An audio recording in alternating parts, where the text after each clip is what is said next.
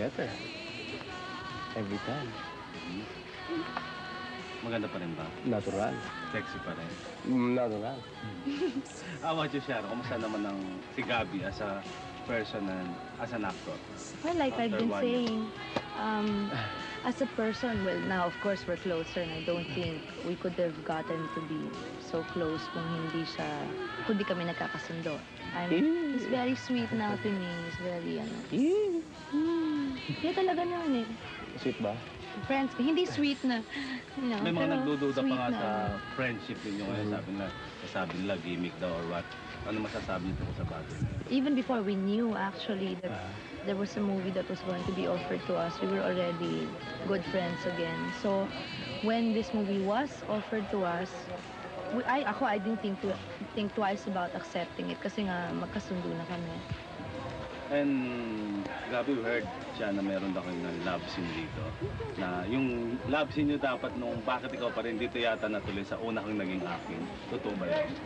Uh, meron. Meron kami. Uh, doon sa kwarto sa taas.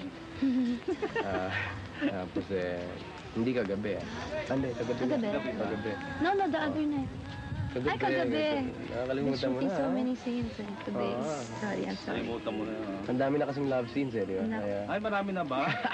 Ay, naman love Sabi yung scene. mga nila- on and off camera. Hindi, hindi. Joke lang. ah. Hoy, what did you say? Ba't delayed? Mga delayed yata Hindi, because. I didn't hear, I didn't register. Ayun. No, but di ba, I said, in the Diario, once it came out, Ah. ang daw ST scenes. rin. These are not ST scenes. I said they're Sharon love scenes. They're Wow. clean. Ah, Ang showing daw nito is kasabay nung ang 10th anniversary ng Sharon Gabi Love Team. True? Yes. yung show mo, ano? Ano, ano? You had your show, di ba? Pero hindi, iba na yan. Was, uh, Dear Heart was shown last- July 25 of 1981. and um, I was 15 and you were 17. Oh, yeah. Ganun in ba? love. Uh, Now I'm 25 and hindi, you're 15 yan. 27. 15 yata ako nun, ah.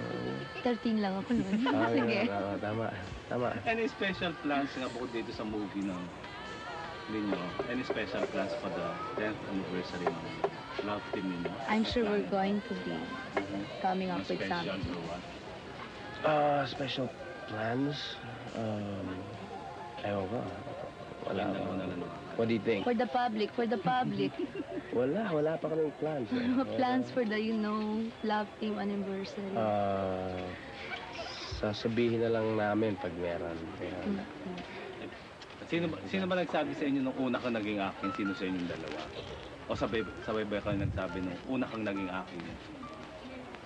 Sa pelikula. Siyempre, naabangan nyo ng mga Dami. tao. Sino man nagsasabi nung gano'n? Ah, hindi sa pelikula yun eh. Hindi, ba yun? hindi, hindi.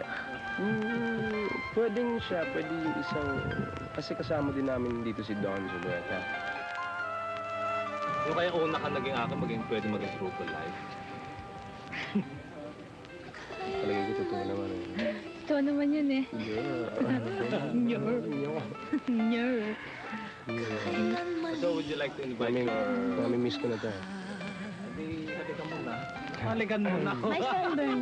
Ay, Anyway, mo would you like to invite Mam- mamaya, masay your fans sa showing ng parabangan nila yung una kang maging akin? Mga kaibigan. No, um, alam nyo, like in, like I said kanina, yung sampung taon ho ng ah, mga pelikula ho namin ni Gabi together na kinagiliwan niyo po at hindi um, pinabayaan. Ito po ang parang 10th anniversary gift namin lahat, ah, namin sa inyong lahat. And we hope po na hindi nyo paba, pabayaan because kahit po hindi kami ni Gabing lumabas dito, maganda ho yung pelikula. And since kami pa, we're trying our best to make it um, very, very special for all of you. Sana po, huwag niyo pong kaligtaan panoorin sa July 25.